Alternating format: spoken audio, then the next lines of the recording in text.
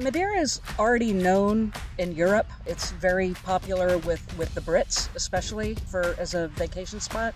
But not a lot of Americans are familiar. No, yeah, there's Brits. There's a lot of people from Germany, Netherlands. So there's a lot of people coming from Europe, but not really from America. Yeah, so we're, we're also hoping to spread awareness about Madeira and hopefully bring people there to be good citizens, good good uh, neighbors, and also you know help America find a, a new fun place to vacation.